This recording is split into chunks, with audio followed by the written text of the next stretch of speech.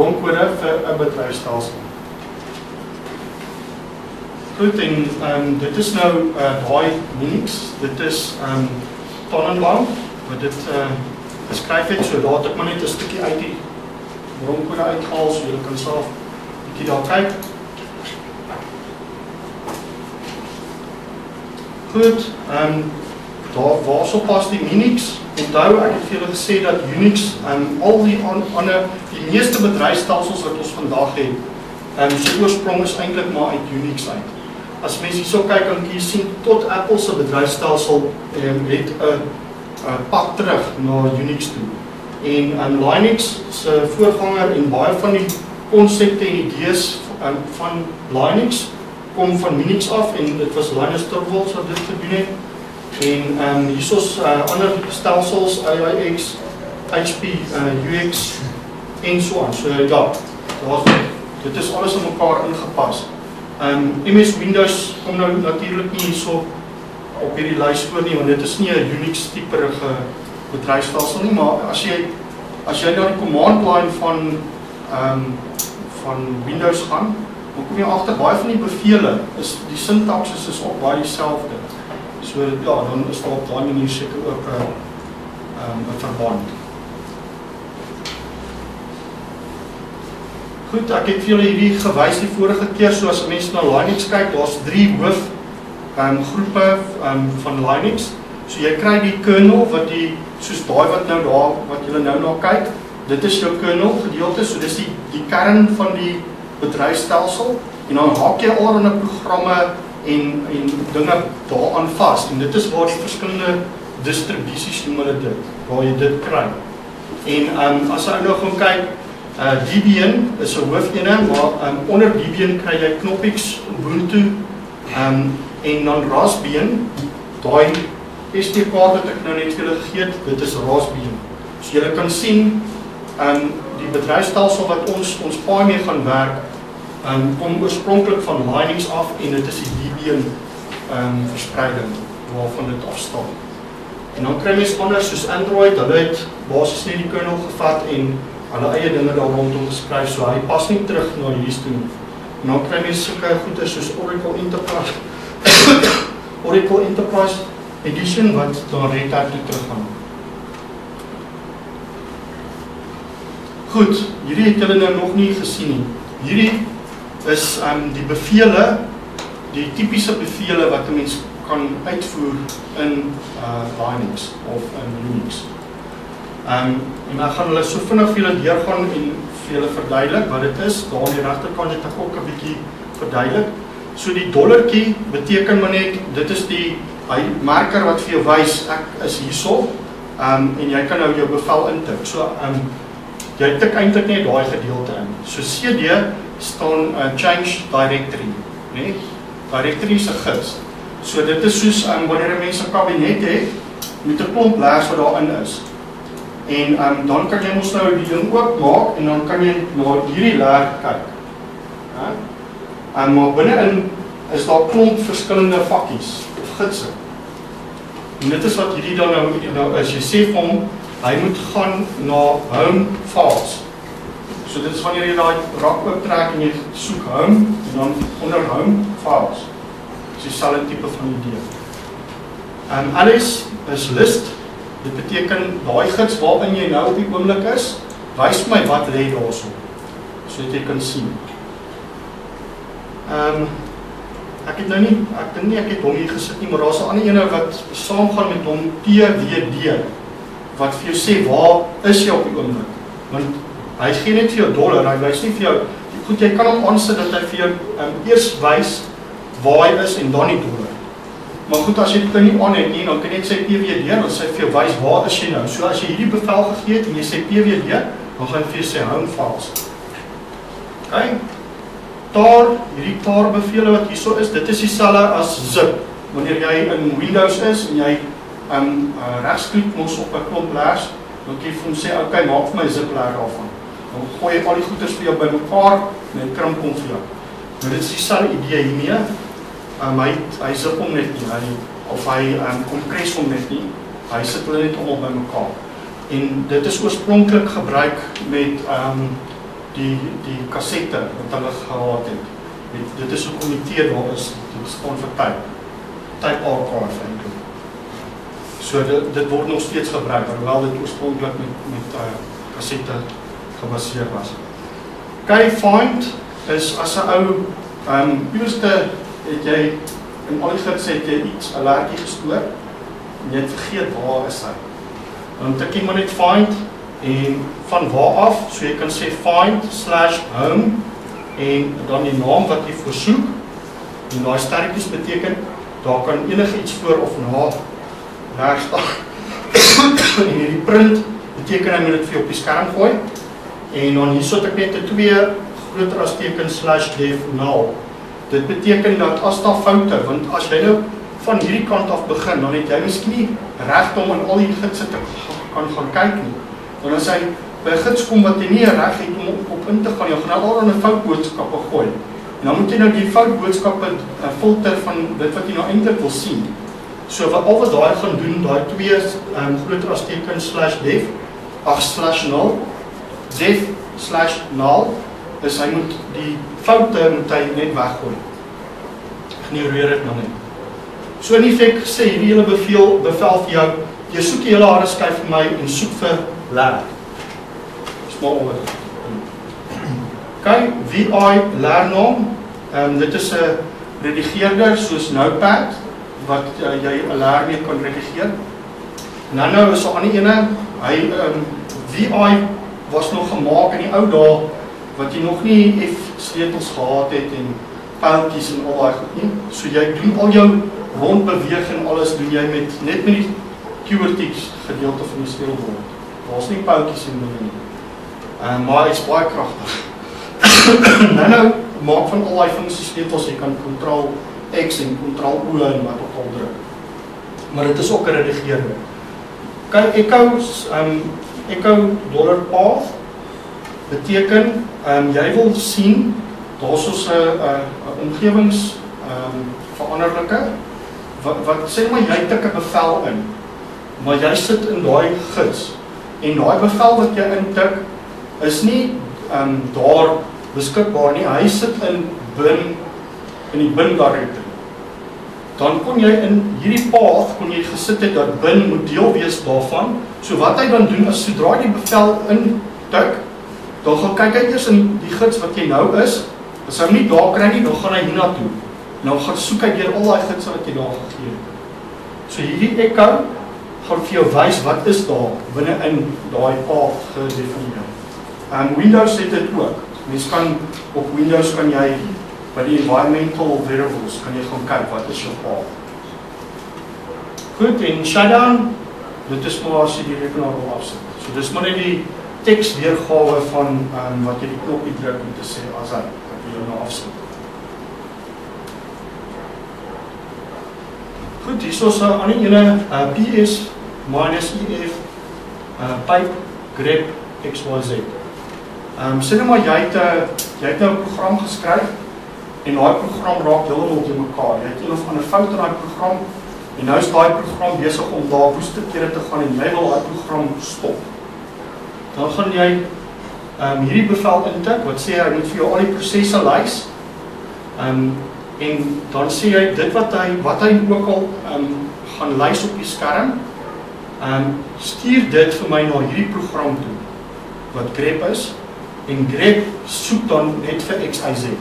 So wat hy dan in feite gaan doen is hy gaan vir jou al die prosesse uithaal, maar hy gaan dit filter en net dies wat XYZ op het. Net hulle gaan hy van jou wys. En dan kan jy die um, uit daai lysie gaan jy die proses identifikasie kry van daai program wat jy het wat jy wil stop. En dan kan jy net vir hom sê kill -9 en die een of ander idee wat jy nou van daar af gekry het en hom maak in dood. So dis 'n vinnige manier dan hoef jy nie te reboot nie. Jy hom gou gedood Kyk df -k, dit is as jy wil weet hoeveel spasies nog op jou harde skyf, op jou SD kaart, hoeveel plek is daar nog oor. Dan tik jy hom in. RM en dan een van 'n leernaam, dit is as jy 'n uh, 'n leertjie het en jy wil hom uitvee.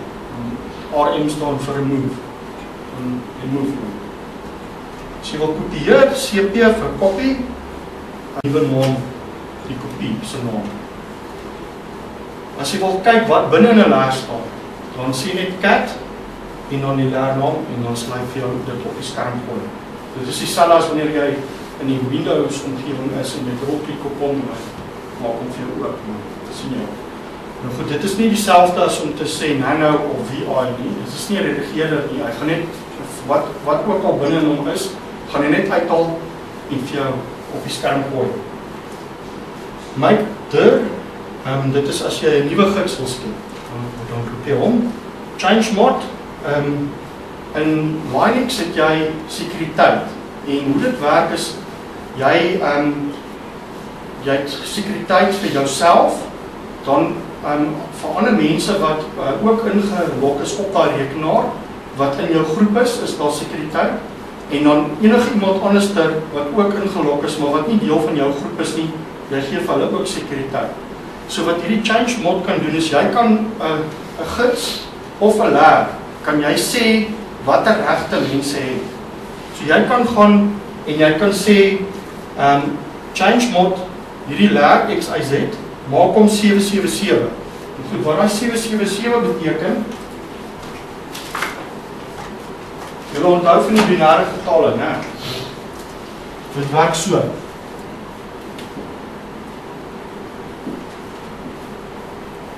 Kyk, so hierdie gedeelte is is um die eienaar se regte, die groep se regte en daai is die ander se regte. En dit is net 'n skakelaar, 1 of 0, 1 of 0, 1 of 0, 1 of 0 en so aan, né?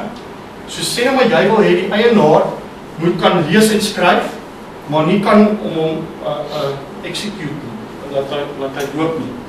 Dan gaan jy mos nou net sê daai nou moet 1 wees 1 en daai nou 0. En as ons hom nou binair gaan uitwerk, waar hoeveel is dit? 6. Kyk, so dit gaan 6 wees. En daar wil jy hê dit moet 0 wees. So dan gaan dit net 0 0 wees. So dan gaan jy daar te change mod 600. Gaan jy vir jou so maak sê maar jy wil hê dat net die eienaar moet kan net kan kan hom execute. Nie die res nie. Dan gaan dit net een wees. Of jy wil hê dat die eienaar moet um, al hierdie kan doen, dan word daai 7. Jy wil hê dat hierdie ouens net hom kan execute en daai ouens ook net execute. Dan word daai 1 en daai 1. So jy sien hoekom is die die binêre ding hoekom is dit belangrik want jy jy gebruik dit. So change mod um, gaan werk in die regte. Ehm um, eienaar groep en onder. So sien as jy sê gaan vir al drie alle regte. Alle regte. So jy kan enige een kan enigiets doen. Niks regte. In effek het jy alle regte. Almal het alle regte.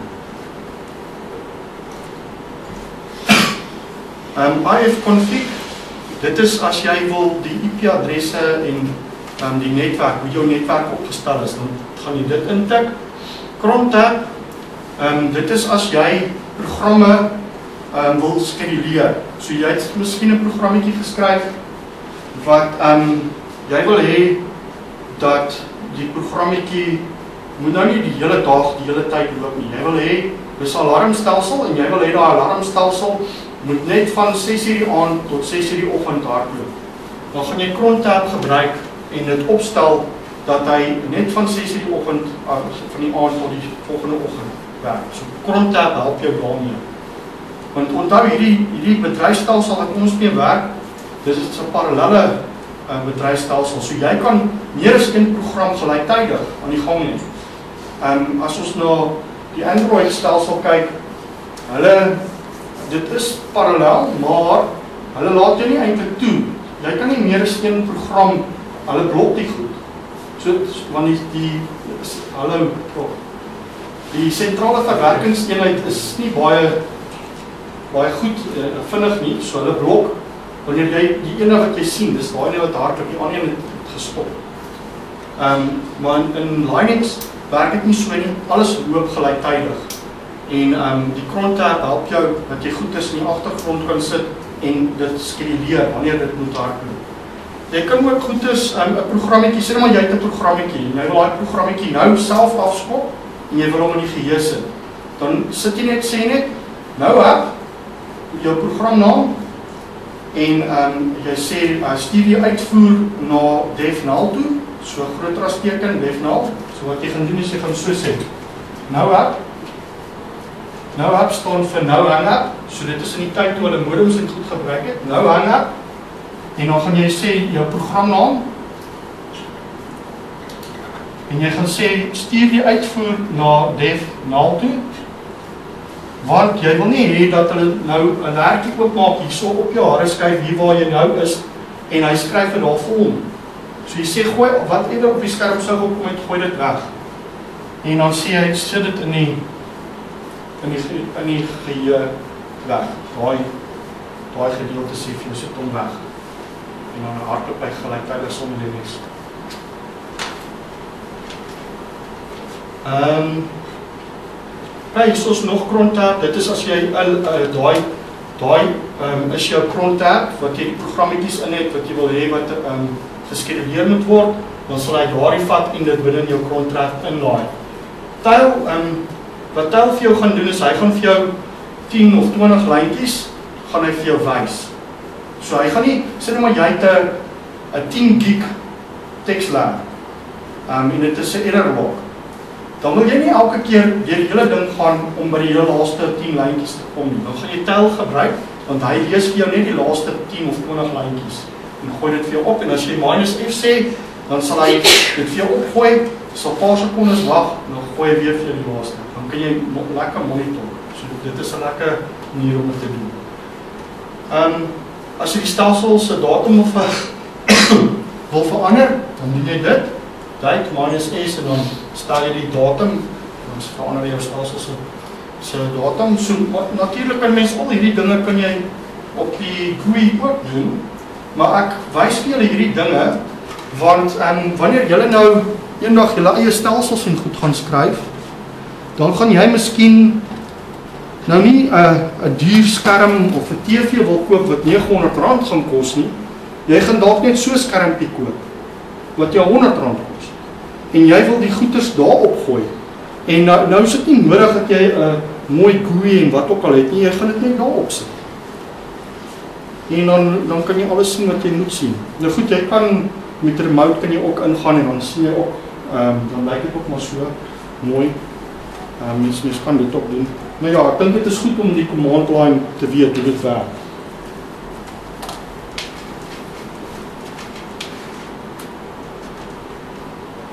Ehm um, goed. Ping, dit is maar as jy wil weet of een of ander adres wat jy het op jou netwerk of is hy op of nie. Ehm um, kan hy daarby uitkom. Dan tik jy ping. Weet jy webadres? Ja, ek het nou sommer hier 'n webadres, maar onthou al daai webadresse um, uh, kan jy terugvertaal na 'n IP-adres toe. Want hoe hulle dit doen is daar soos 'n ehm um, verskillende plekke in die wêreld is daar 'n uh, 'n uh, name server wat hulle het. So wat gebeur as jy jy so 'n naam intik, dan gaan hy eers na die name server toe en die name server gee vir hom die IP-adres. Nou die die IP-adres lyk sê nou maar so iets 196.125.6.12.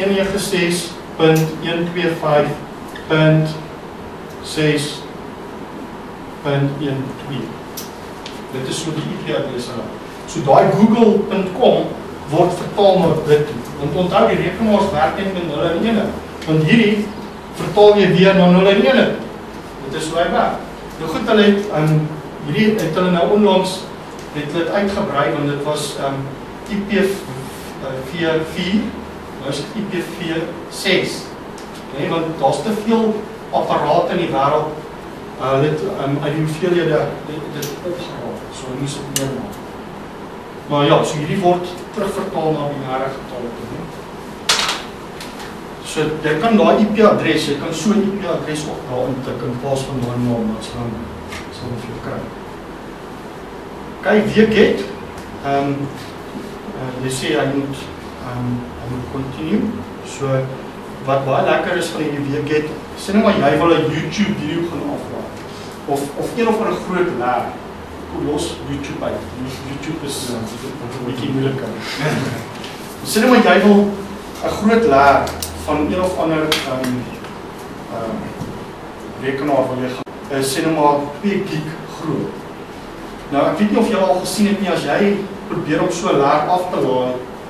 Ehm um, dit is nogal 'n gemors as jy met HTTP probeer dit doen en na 5 ure dan dan het jou koneksie verbreek. En daar's al daai 5 ure is weer weg en moet weer vooraf begin.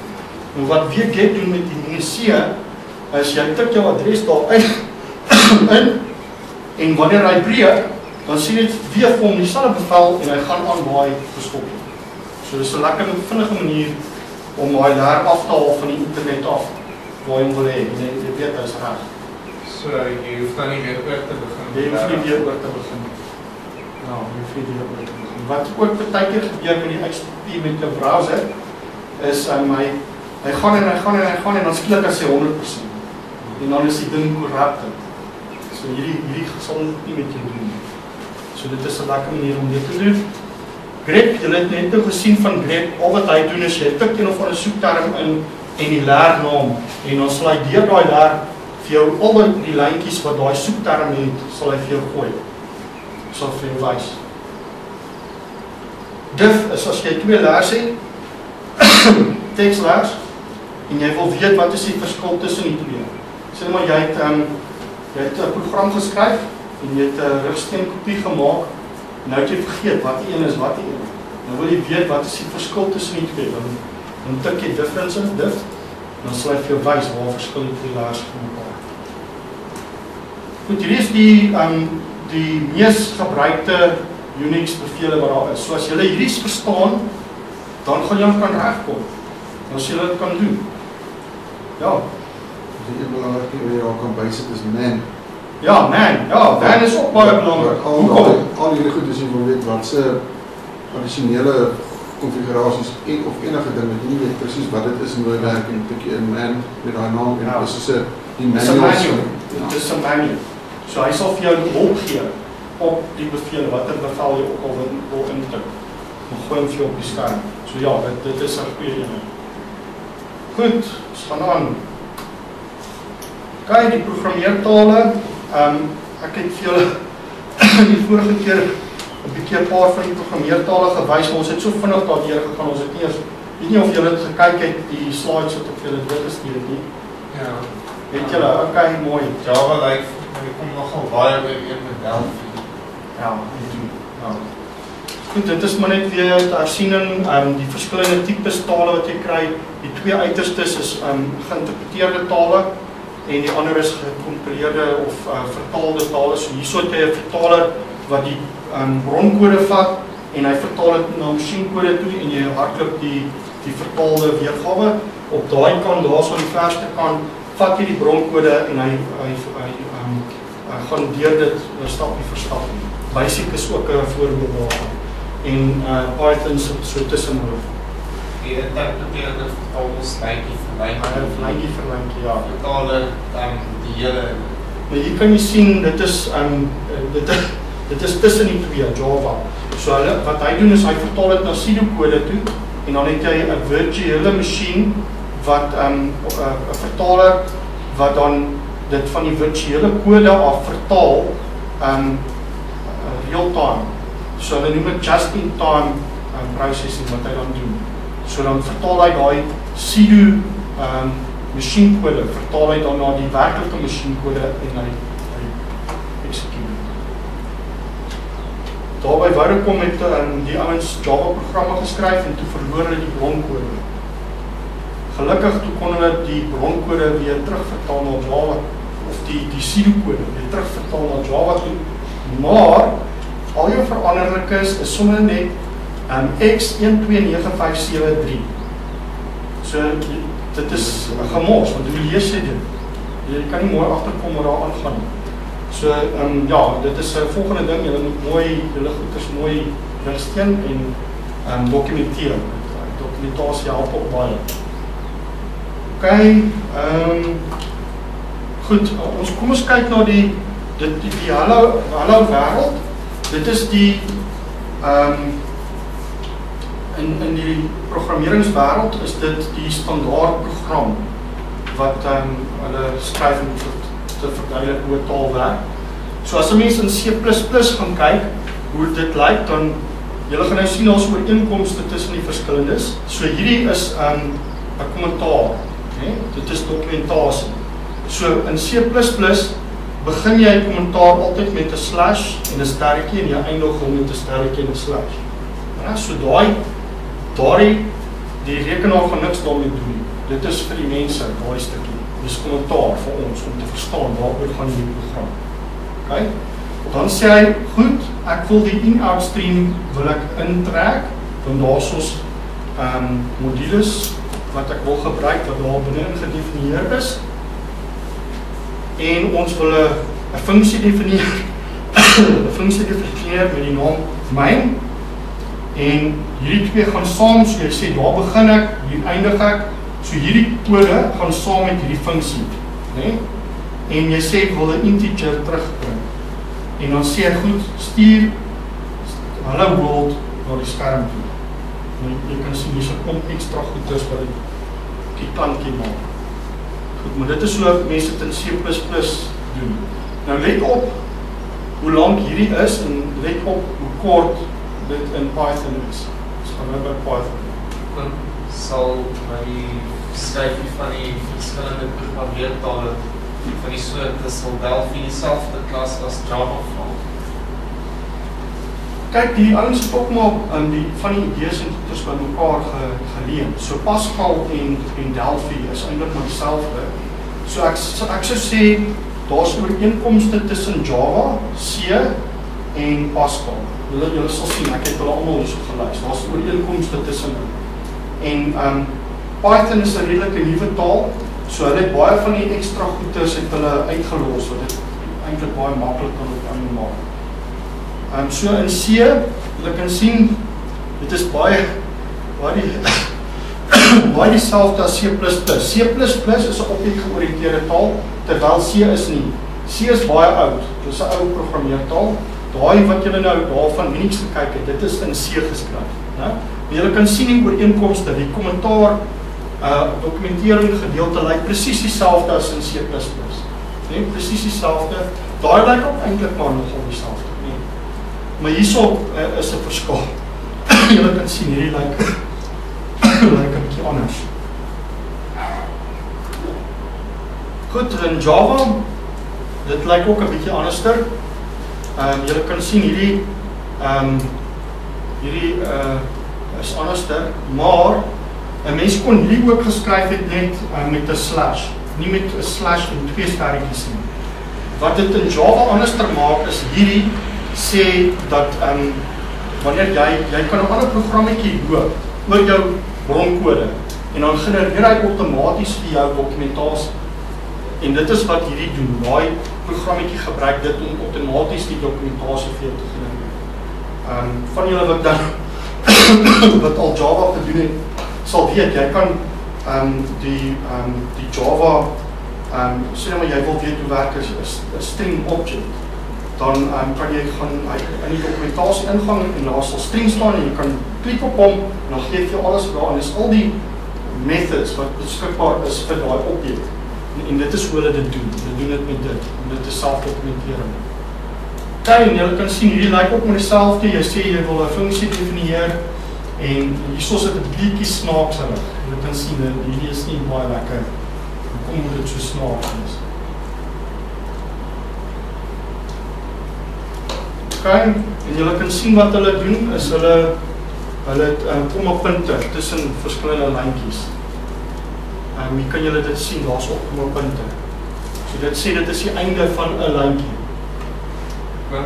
Wat beteken objek georiënteer? Ons gaan later in die kursus gaan ek dit vir julle doen en wat ek nou kan sê is ehm um, alles wat ehm um, Dit is 'n manier om om iets te beskryf wat generies is. So sê net maar jy praat van 'n boom. Ja. Dan um, as jy nou mooi daaroor dink, hè, dan is daar sekere dinge van bome wat dieselfde is wat vir jou kan sê as ek hierdie boom sien, dan weet ek dis 'n boom. So ek daai ene sien, hy lyk nou anderster, sy blare lyk anderster, sy kleur is miskien anderster, maar dit is 'n boom. So nou kan jy sê maar daar moet een of ander tipe boom wees in in ons denke wat die perfekte boom is. En al hierdie ander bome is net voorkomste.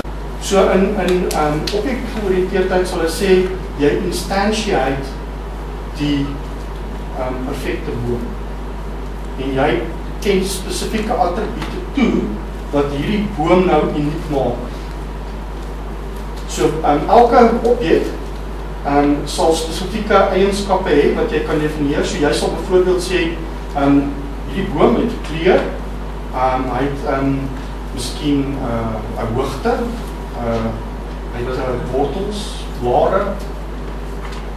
So dit is spesifieke attribute wat um wat jy het en dan jy jy verwerkings wat jy kan definieer op daai objek. Maar goed, ons gaan 'n hele sessie aan objekte spandeer want Python het op objekte. So jy kan objekgeoriënteerdheid doen as jy sou wou in in uh, Python. Ons gaan in meer detail daarin ingaan. Goed in Python. Kyk hoe eenvoudig is dit in Python. Dit is net twee lyntjies. So jy sê net so daai so kommentaar. So jy sê hier is 'n program wat ons weet wat wat jy wil doen. En jy sê ons wil net skryf op die skerm. Jy nie 'n hash ook sit vir die einde van die kommentaar. Jy hoef nie. Nee. Jy weet hy is einde van die kommentaar. Gewoon 'n lyntjie. Um, hy hy beskou daai hele stuk. Beskou hy die hele lyntjie. Daai beteken die hele lyntjie is kommentaar. Um jy kan um daar's 'n ander manier wat jy die kommentaar kan doen wat jy dan 'n uh, paar ek kan nou nie presies onthou nie, maar um jy sit 'n paar van hierdie neer en dan um hoef jy nie by die lyne wat daarna volg, hoef jy nie enigiets te sit nie, dan sluit jy dit net weer af soos 'n uh, soort gelyk. Ah, Dis 3. ja, ja. Ek sal vir julle dit gee, maar dit gaan soortgelyk wees aan aan uh aan hierdie wat wat jy maar jy gaan nie daai nodig hê. So soortgelyk daarin. Kan jy kan sien is baie meer kompak in in uh, Python. En goed Pascal of Delphi. Ehm um, julle kan sien dit dit is daar's 'n ooreenkoms met C. Dis net 'n ronde hakie in plaas van 'n slash. en jy ehm um, sê dit is 'n program en jy het altyd 'n begin en 'n einde. In in C was dit 'n krulhakie. Hierso het jy die woord begin en die woord einde. So as jy 'n if statement het, dan jy ook 'n begin en 'n einde. En dit eindig altyd met 'n puntjie in Pascal. Goed. Nou wil ek net weer 'n bietjie terugkeer ehm um, na die vloei diagram. Hoe lyk ons tyd? Ons op tyd uit daar. Lyk my is tot 20 minute. nog 20 minute, okay? Goed, um, ek het gekyk die die vloei diagramme wat julle vir my gestuur het. Dit lyk vir my julle vang die vloei diagramme. So ek gaan nou nie te veel tyd hier ons spandeer nie. Um, dit is die die hoofgoeders wat jy gaan gebruik is jou begin, jou einde, jou prosesse um, en daai invoer. Dit, en die ander gaan jy 'n bietjie gebruik, maar nie so baie nie. Want dit is Ja, die verbindings gaan jy ook altyd gebruik. Ja, En hierso het ek maar net 'n voorbeeld ge- gewys van hoe jy lus sou doen. Rooi en op besluit is ook baie belangrik ja. Ja, die besluit is ook baie belangrik. Ja, dis reg. By hierso wys ek maar net vir julle vir die verskillende programmeertale. Ehm um, as jy dit nou sou vat na jou ehm um, vloeidiagram toe, hoe vertaal die vloeidiagram na die taal toe? So as jy 'n lus het, jy kry dit verskillende tipes lusse, jy kry terwyl lusse, doen lusse, vir lusse, herhaaldes. Sien jy? Herhaaldes. Ja, ja. So al hierdie verskillende lusse um, in die vloeidiagram gaan jy hom so gebruik. So dis 'n kombinasie. Kyk, daarso praat ek maar net verder daaroor. So julle gaan dit later in julle um, huiswerk opdrag en julle dit gebruik. Goed, hier het ek nou 'n uh, 'n voorbeeld, nê, van Python. Hoe hoe gaan 'n mens ehm um, as jy ehm um, een of ander getal van die sleutelbord af gaan kry, so jy vra sê tik 'n getal in op jou vloeidiagram gaan jy dit so los skryf, wat jy sê tik die getal A in en dan skryf op die skerm A is gelyk aan wat jy ook al ingetik het. In Python gaan jy sê ken aan A die getal toe wat jy van die sleutelbord af moet kry en skryf dit dan op die skerm. So jy kan sien daar's 'n verband tussen dit en dit. Ja? En dan sê skryf, skryf print die getal is af. Né? Nou goed, 'n mens kan hierso 'n plusie ook gesit het. Maar as jy die plusie sit, dan gaan hy wil hê dat daai gedeelte moet ook 'n string wees soos wat hierdie 'n string is. So jy gaan dan daai integer eers moet omskakel na 'n streng toe. Jy gaan moet sê str hakkie a. Want jy moet hom eers omskakel. Hy gaan vir jou fout gee as jy as jy hom so probeer doen. So jy sê maar om hom. Jy kan plus op So as jy dit so insit dan kan plus dit vir jou. Ja. Sal vir jou. Ja, doen dit. Kyk, hier het ek hom gehardloop. So hierdie programmetjie wat ek hier gemaak het, het ek hom vir jou gehardloop. Tik die getal A in, ek het dit ingetik en hy het vir my dit geskryf. So ja, daai daai werk. Goed, het ek aan ene gedoen. Sê net maar jy het 'n lus en jy sê is u al groter as 10? Nee. Skryf dan ehm um, u plus uh, so jy moet gaan vir my skryf hoeveel is u? So hy gaan hy gaan ons nou ons stel hierso dit op. Goed, maar hier word 'n aanname gemaak dat hy met 0 begin, hè. Hier word die aanname gemaak. Jy kan nie altyd daai aanname maak nie. As jy dit in C gaan doen, wat met C gebeur, is dit 'n stewe kans. Hy ken sommer jou enige ware 5 miljoen toe. Hardloop jy, jy kan nie verstaan wat se snaakse getalle kry en jy hardloop om weer, dit is weer iets anders ding. So eintlik wat 'n mens moet doen hierso, is jy moet hom eers ehm um, stel u gelyk aan 0 of 1 of wat ook al. Maar goed in in Python, ek het hierdie gehardloop en dit gewerk. Hy doen dit vir jou. Hy hy maak eintlik 'n bietjie lyn dit te doen. Want C, jy gaan jou vasloop met C. Goed om nee, daai i in range 1 to 10. Hy initialiseer hom met 1. Ja, hy begin by 1. So hierdie beteken jy begin by 1 en jy eindig by 10. Ja, So hy initialiseer hom in Ja, jy's reg. Dis C dit is dit presies is stop. dieselfde. Ja. Ja, jy's reg. Ja, jy hoef dit nie te doen nie want hy doen dit vir jou. Dis so.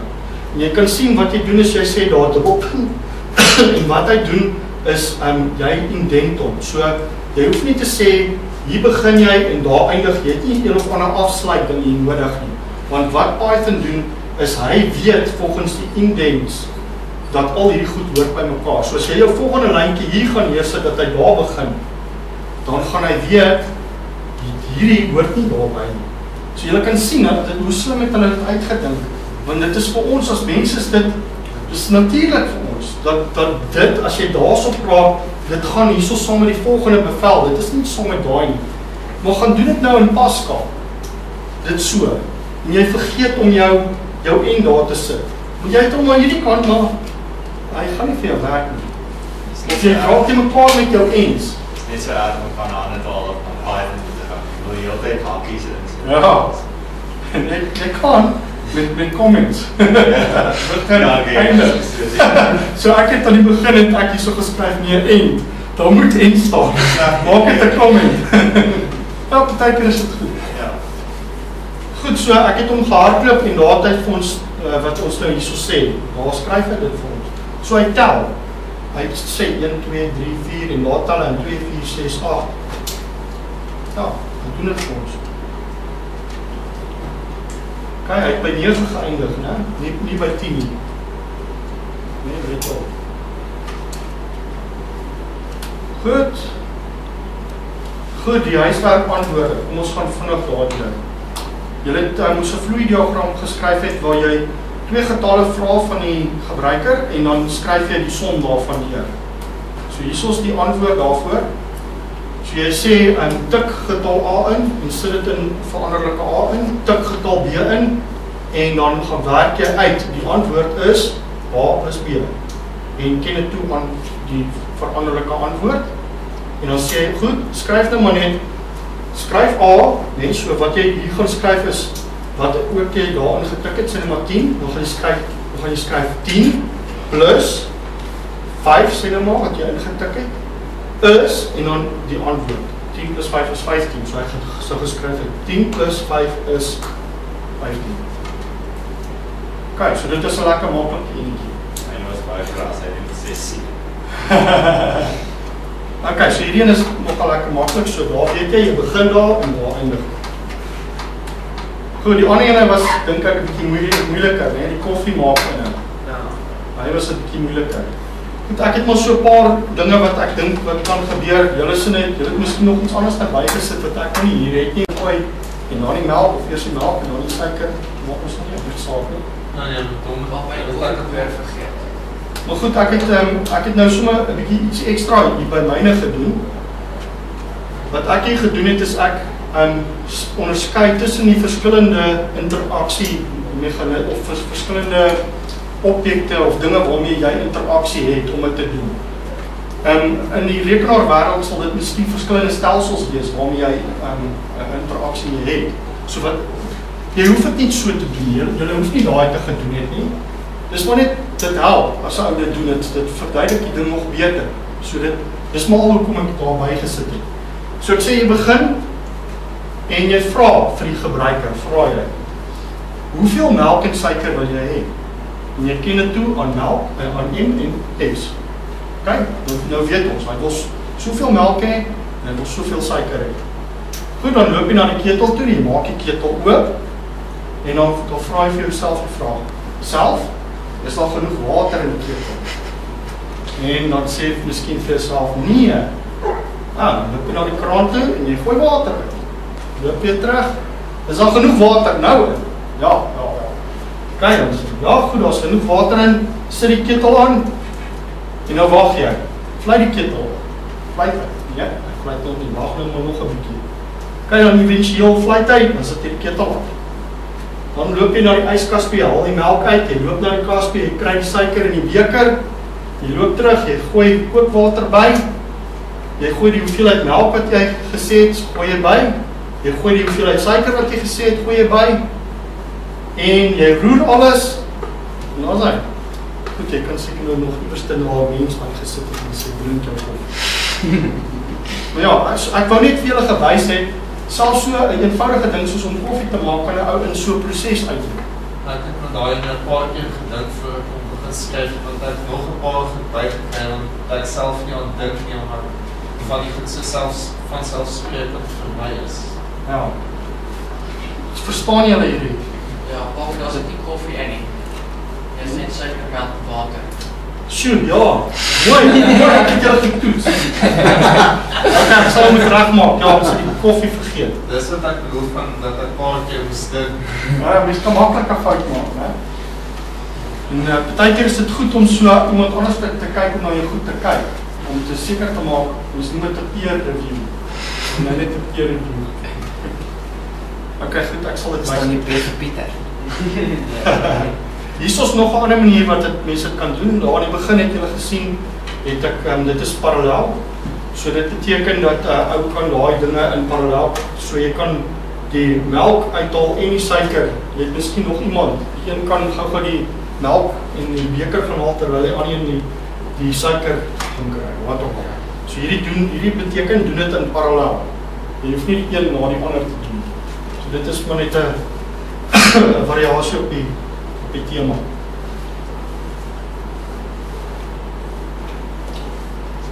Ehm um, dit is as mense sê nou maar uh, gesê het nee maar dit was 'n koffiemasjien wat die koffie moes gemaak het dan dan sou die diagram miskien so gelyk het.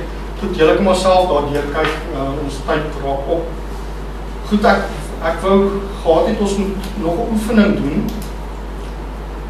Dit is daai ene van om 'n binêre getal voor te stel. Julle on- onthou hom ons nog. Ehm um, en dan wou ek gehad het ons moet 'n diagram teken. So ek gaan nie ek gaan dit nie nou nie deurgaan nie. So hierdie proses om uit te werk as jy daai getal sou intik om dit vir jou om te skakel na dit toe. Dit is wat daai diagram vir jou wys. So jy kan op jou eie tyd kan jy deur die diagram gaan en miskien net kyk of ek nie nou weer uh, een of ander iets vergeet het nie. OK. So gaan hom deur. Hier is ons nog 'n voorbeeld. Okay, so ek sê hierdie is binêr 2. Daar's ons dit is desimaal. Huh?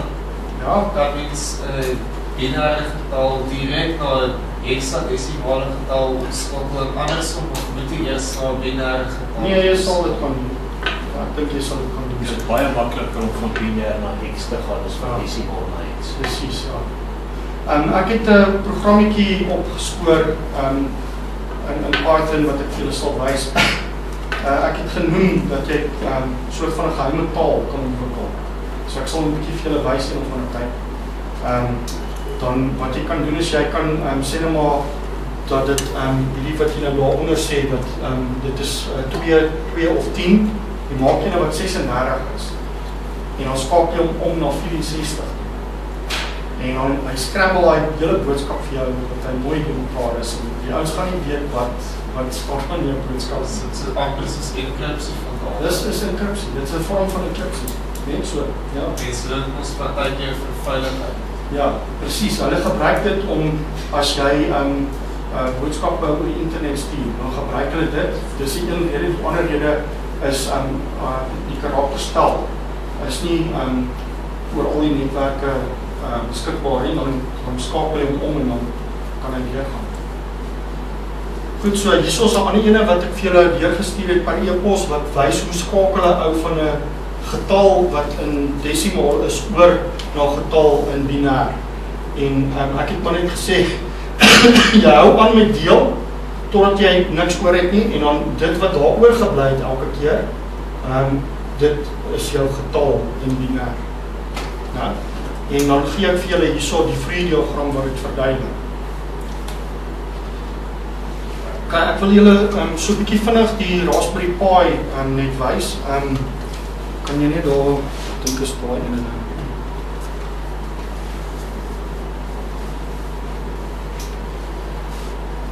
Nou gaan afsit hom.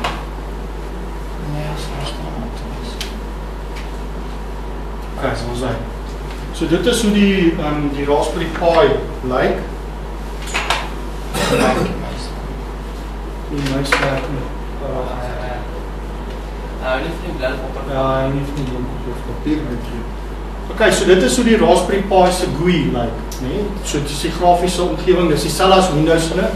So daar kan jy sien daar's jou jou um, menu.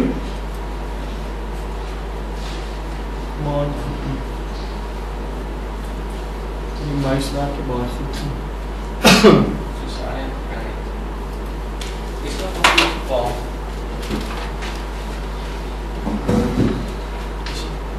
Toe maar werk ons nou met die speelbord.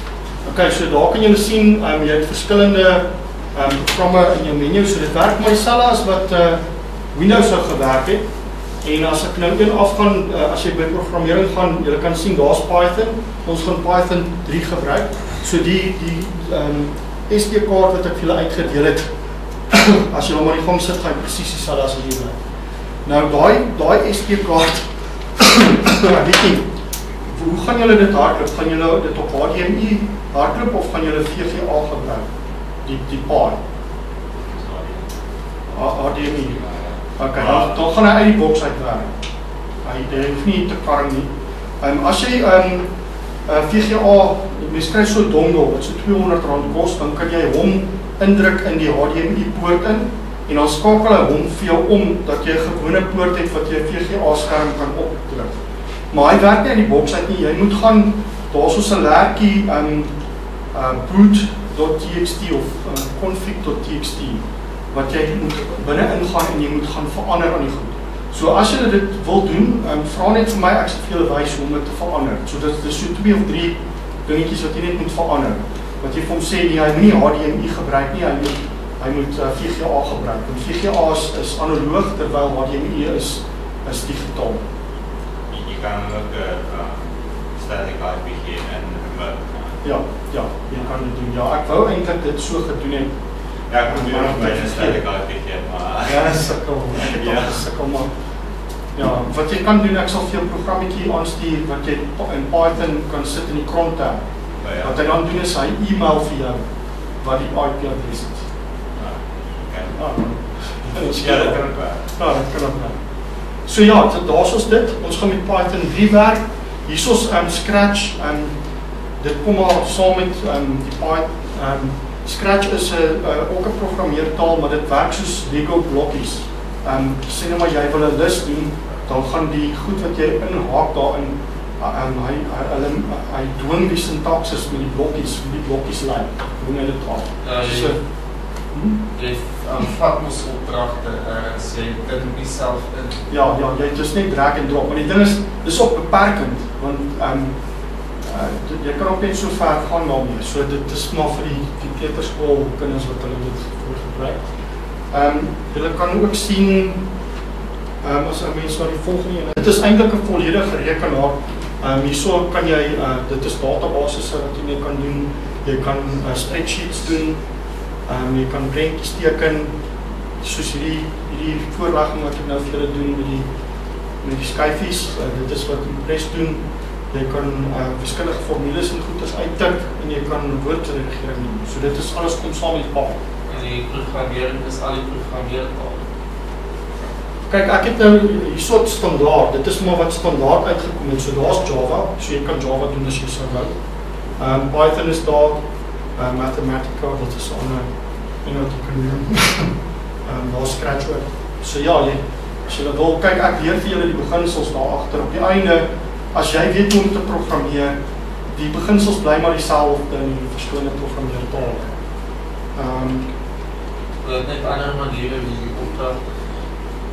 en ander ander sintaksis en en ander bevele maar die beginsels so staan in die diagram wat ek vir julle gewys het wat van uh, aan die regterkant aan die regterkant het ek ons gewys hoe lyk die vloeidiagram en dan die lisse hoe lyk die lisse hoe lyk hoe lyk uh, if statement hoe lyk um, 'n skryf statement al daai dinge dit dit wys jou die sintaksis verander dan met Ehm um, hierso jy kan op die internet gaan, jy kan daar's 'n webbrowser. Ek hou nie baie van hierdie webbrowser nie. Daar's 'n Iceweasel wat jy kan installeer.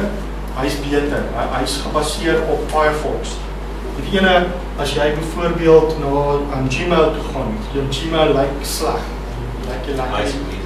Nice weasel. Ja, I C E Weasel. B E A S E L. Jy kan Een woord. So jy kan net gaan na die command line, so jy klik op daai ene en jy tik in sudo su so. Sudo dit beteken ehm um, jy wil die root ehm um, jy wil die baas wees, jy wil big brother wees. Sudo en dan tik jy in ag man ehm um, apt-get install ice weasel. Net dit. Hy gaan vir jou vir 'n hy gaan jou dalk vir 'n wagwoord vra. Die default wagwoord um, vir root op julle um pies is um die user is pie en die wagwoord is 'n raspberry. okay. So maar daai een sal dan gaan en vir jou ice weasel installeer en hy sal werk. Jy sal kan browse, jy kan YouTube video's kyk, wat ook al. jy kan nou. Jy kan kram ook, maar kram werk nie lekker. Kan jy kram werk nie lekker op die so ice weasel werk. Ek het hom al uitgevind. Games, daar is 'n paar games. Jy kan nog 'n klomp ander. Ek het vir hulle Saterdag geklomp Lancelot afgelaai. Maar ja, toe het ek te entoesiasties geraak. Toe crash jy. ja, ja. nee. So okay, dis skielik dis wat die basis betref as die ice weasel wil staan. Ja, dit is die webblaaier wat ehm um, Firefox gebaseer is. Ehm um, jy kan ook ehm um, ehm um, Chromium. nee, wat is ehm um, wat is die ehm um, repository ehm um, se naam? Die die standaard ene? Vita. Nee, die ander repository programme wat in in Linux wat ou kry. Internet Explorer. Ag nou het ek die naam vergeet, maar uh, hierdie het nie um, as jy nou hierso gaan by preferences of so, jy sien daar is nie 'n repository. Hulle het nie 'n repository ding geïnstalleer nie. Kyk um. Ehm um, Maar goed, uh, ek sal vir julle die bevel instel. Dan kan jy net so install doen as jy vir install en dan kan jy Debian se ehm um, repository kan jy dan sien en dan kan jy gaan kyk watse games is daar, watse ander uh, webbrowsers of wat ook al wat jy wil soek. Hy gee vir jou hele lys. Dis soos 'n App Store. Dis 'n app store. Presies, ja. Ja, ja. Snapchat. Snapchat. O, So jy kan Snapchat gewoon net vervang met Snapchat. Sal jy Snapchat vir jou install en dan um, gee hy vir jou die hele repository kan jy dan sien. Ehm um, so hierdie apt-get ehm um, waar ek nou gesê het apt-get install. Wat daai ehm um, Synaptic vir jou doen, is dit is 'n grafiese omgewing vir dit. Dis maar al wat dit is. Maar dit is makliker want dan kan jy ou vir goed soek. Jy kan net 'n gedeelte intik en jy kry dit. Goed, ehm um, accessories, jy het 'n sakrekenaar, file manager, dit is die standaard goed wat jy op Windows gebruik. Hier is jou PDF redigeerder, jy kan prente bekyk. Jou task manager, daai PS-EF, dis hy. Né? Dis hy. So jy kan dit hierso ook doodmaak, né? Jou terminaal, soos ons sê nou maar gaan klik op die terminaal. Die muis werk nie keyboard. Okay. Kyk nou. Nou het ek op die terminaal geklik, waar kan jy sien? So ek kan nou gaan intik alles. Waar wys hy vir my wat wat lê daar? Ons kan alles minus L. Waar wys hy vir ons die datum? Hier is jou read write bits, né? Waar wat ek net nou vir julle verduidelik het. So is dit. Ehm um, die datum wanneer dit gemaak is, wat ook al. Jy kan find hierso intik. En ons kan sê ons wil nee sterretjie paai. So hy gaan hierdie hele harde skryf en al die Python programme wys hy vir my. Kyk, so dis so maklik soos dit. As jy nou moeg is en jy jy wil nou nie meer nie, dan sê net exit. Dis ek. Kyk, en dan hierso bo, daarso, dit is jou netwerk. So as jy 'n um, Wi-Fi by die huis het, dan kan jy net daar gaan klik en dan gaan stel jy dit, hy sal jou as jy 'n uh, Wi-Fi dongle ingedruk het, dan sal hy dadelik sien of as jy die die Ethernet kabel ingedruk het, dan gaan hy nie eers vir jou onthou jy eers te word dan hy sal outomaties konnekteer. Dit is die Maar die maklikste. die die minste paai het wifi ja, outomaties die minste julle het die eerste dongle nodig. OK, so dit is ja, dit is Python of ag die Raspberry Pi. Ehm um, ja, ek ek dink dit is 'n wonderlike stukkie gereedskap. Ehm um, Om net gou kyk daar nog iets oor julle julle huiswerk. Ek net gou vir vertel om dit terugskryf. Ja, jy kan ek dink ons ons het dit net net gemaak. Dalk 'n minuut of wat oor. Goed, julle huiswerk, um, ek gaan vir julle drie goeders gee wat julle moet doen. Uh, ek sal gou los om ons wat ek gaan nou gaan. Wat jy net gedruk. Soms. Ja, 6. Oh. Kyk, was hy. Hulle moet 'n robot vir my skryf. Net so wat wat dit ehm um, wys is dit is die twee kante van die robot, so dit is die een rigting en daar is die ander rigting. Hè?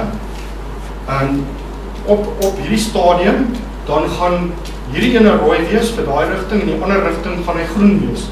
Dan bly hy so vir 30 sekondes en dan verander hy. Dan word daai ene wat groen was, word geel en hy bly so vir 3 sekondes. En dan gaan hy van hier hierdie toestand gaan hy en hy maak daai ene rooi en hierdie ene wat rooi was, maak hy groen. En dan bly hy so vir 40 sekondes, nie 30 sekondes nie, 40 sekondes. En dan word hy geel en hy bly so vir 3 sekondes en dan gaan hy weer terug, so hy's oneindig gewees. Die een sit by nooit verkeerd sekondes. So dit is mos maar hoe 'n robot werk. Hy hou mos maar net aan vir ewig. Wel, Okay. nie dees daarmee nie. Dan maar vir swaar verkeer is. En dit hang af van Ja, wat goed, hulle het ook hulle sit sulke stroke in die baan, né? Ja, hier is En dan as daar baie verkeer is, dan meet daai stroke meet hoe besig dit is. Dan wat hy dan doen is hy gaan en hy verander aan hierdie tye. Daai 40 sekondes en die 30 sekondes sal hy verander. Maar hulle hulle pre-program het goed ook vir oorspronklik. Hoe hoe ook al maar goed ek julle moet vir my hierdie een programmeer uh, of eintlik 'n 'n vloei diagram vir my skryf. Ons kan later in die kursus kan ons dit dan omskakel na Python. Kyk, dit is die een. Goed, hierso het ek um, gedemonstreer wat vir julle demonstreer aan hoe hy omskakel. So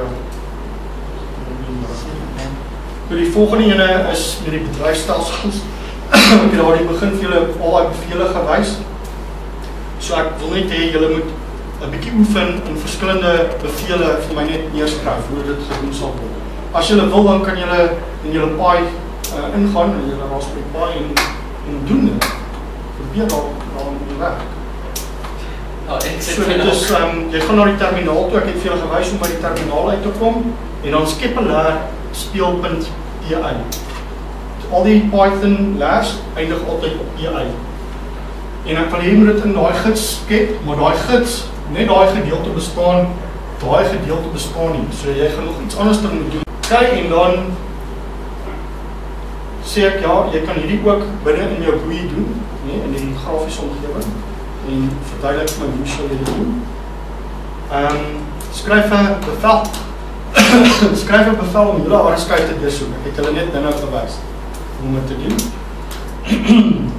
hoe sal jy kyk of lys uh, in die terminaal alles wat daar gestoor is in die gids in hierdie gids. Net so as jy wil sien wat is in daai gids, hoe gaan jy dit doen?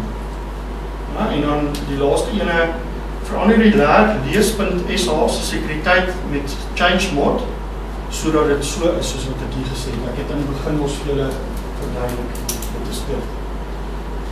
OK, dit so dit is die tweede ehm um, huiswerk. En ons wil net vinnig uh chmod is op 'n sudo command, né? Ja, dit is ehm um, hoe bedoel jy wat bedoel jy met sudo? Uh, jy moet super user wees of kan jy hom Ehm um, ek dink jy gaan super user moet wees maar. Ehm um, as jy nie die regte het ehm um, uh, vir alles as jy wat jy nie op die directory is behoort jy die regte hê dan sal dit nie. Ja, ja. Maar is 'n goeie vraag en dit dit is belangrik want ehm um, sê net maar jy het net ehm um, jy het net hier was net 'n een, so jy mag net hom execute. Dan het jy mos nou nie die regte om te kan aan daai leer. Dan gaan jy nie aan hom kan verander nie. Dan dan moet jy super user wees en dan gaan jy sudo moet intik. Jy kan sê jy is super user. Jy is big brother. big brother. Kyk, goed, die tweede een het ons afgehandel. Die dag, die derde een. Ehm um, ek wil hê julle moet 'n optelprogram skryf in Python. So julle het daai diagrampie mos in julle huiswerk gedoen om te wys hoe tel 'n mens twee getalle vra getal 1, getal 2, tel op, was hy, dis uitvoer. So ek wil hê julle moet daai skyfies van 21, 19 tot 22 skryf so 'n programmetjie.